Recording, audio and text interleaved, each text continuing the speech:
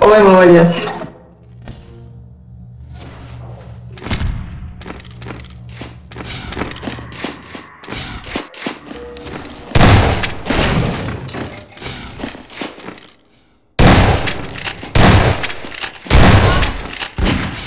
Короче, все, я уже устала. Да.